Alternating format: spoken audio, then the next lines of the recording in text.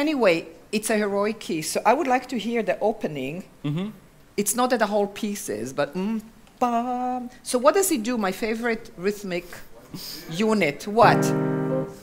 One to a two. You know, he's, you know. So you played the one. Can I just sit for one Yes. second?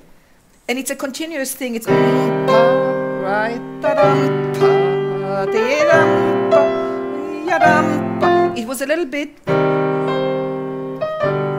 Now, in physical language, first of all, was there an intention to go one to two? Or you just saw left hand and then there was a start, the truth?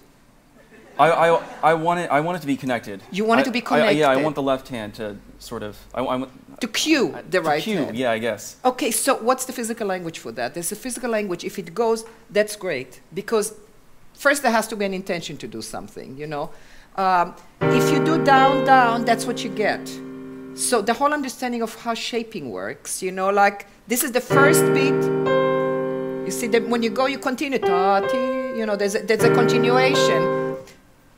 As I talk about, you know, rhythm, that I don't talk about weak beats, even though it's a favorite term. I don't talk because people think of them as being weak, you know. So there goes syncopation, and so much of music goes into, you know, sarabands and and and um, mazurkas and everything else. You know, it's kind of music. Uh, composers vary where they go. So the rhythmic unit, and then of course that's also part of the jazziness. You know, in um, in music in classical music. So if physically we continue it, you know, so there's a physical way to express the beats differently. So one sounds like one, two sounds like two, three sounds like three, and they don't all sound one, one, one. So could you go a little bit forward?